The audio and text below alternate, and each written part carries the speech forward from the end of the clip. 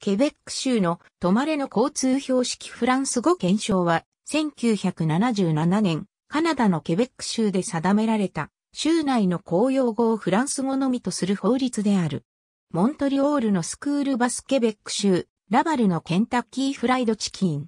フランス語では、プーレフリットアラケンタッキー、略して PFK。フランスの植民地が1763年のパリ条約でイギリス領となった後でも7万人以上の植民地住民のほとんどがフランス語を使い、その後も使用人口が減らなかったため、1774年のケベック法で公共の場でのフランス語使用が認められた。さらに、現在の連邦の礎を築いた1867年憲法第133条でカナダ連邦政府及びケベック州政府で英仏両語の使用が認められ、1870年のマニトバ法でもフランス語の使用が許可された。また、二言語に文化主義に関する王立委員会が置かれ、1969年に公用語法が制定され、連邦議会、連邦政府機関、王立機関で利用者への英物いずれかの言語でのサービスが義務付けられた。また、公用語監督官が置かれ、英物二言語の使用もみ、1982年に制定されたカナダの権利と自由の検証では、両言語がカナダの公用語であるとされている。また、ニューブランズウィック州は、州レベルで二言語主義を採択している。1988年には、公用語法の改定により、英仏平等の立場が強化された。しかし、ケベック州では、静かなる革命以降、ケベックフランス語の質的向上が求められ、国家援助が必要となった。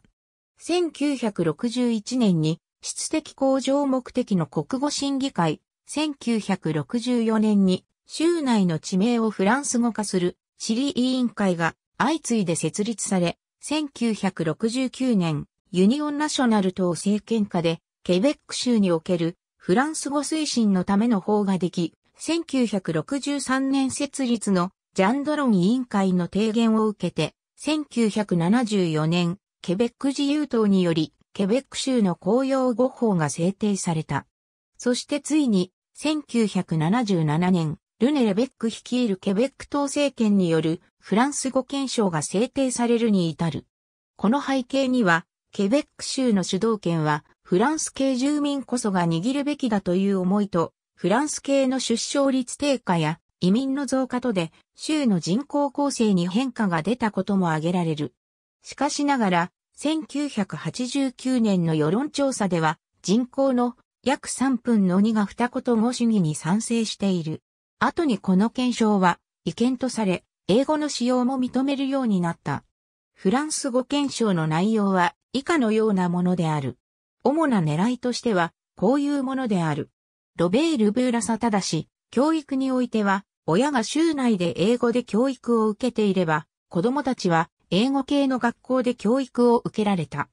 英語系の学校は例外的に存在を認められ、入学条件としては、両親のいずれかが、ケベック州で英語での初等教育を受けており、この検証の施行日に、ケベック州内に、また、フランス語検証施行以前は、職場において管理職は英語、非管理職はフランス語という色分けがなされていが、それもなくなった。しかし強引なフランス語化により、モントリオール銀行、テキシコカナダ、サンライフといった大手企業がケベックを去ることにもなった。英語系住民、約20万人がケベック州を出たとも言われている。1985年12月の州選挙で、ロベール・ブーラサ率いるケベック自由党政権となり、フランス語公用語化は一部緩和された。1993年には86号法に基づき商業用広告の英仏領語表記が認められ、言語警察と呼ばれていたフランス語保護委員会が廃止された。1994年に政権奪還したケベック党が検証の再強化を狙うも、1996年のルシアン・ブシャール政権、2003年のジャン・シャレー、政権とも大きな変化はないままである。この検証は少数言語の他地域にも影響をもたらした。例えば、イギリスのウェールズで1993年に成立し、ウェールズ語を英語と同等に扱うようにしたウェールズ言語法やスペインのカタルーニャ自治州におけるカタルーニャ語の扱いに関してなどである。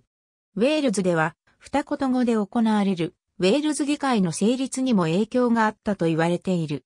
AB 日本カナダ学会メープル豆辞典に二言語主義 ABC ケベックの歴史とフランス語検証、ボンジュールケベック AB フランス語化政策、ボンジュールケベック日本カナダ学会メープル豆辞典、古、公用語 AB、ボンジュールケベック、木村和夫編、世界各国史23カナダ史山川出版社、1999年、335ページ。日本カナダ学会、審判資料が語るカナダ有比較、2008年、94から95ページ。AB ザインフルエンスオブケベック、S ランゲージプラニングポリシーアブロード、ウェールズエル、インフルエンスデール、アメニジアモンロンゴウィースティック AU クイベック、AU、デイラデセフォンテアーズ、レペイズデゲイルズ、ケベックカタロニアレクイベックイラカタローン。ありがとうございます。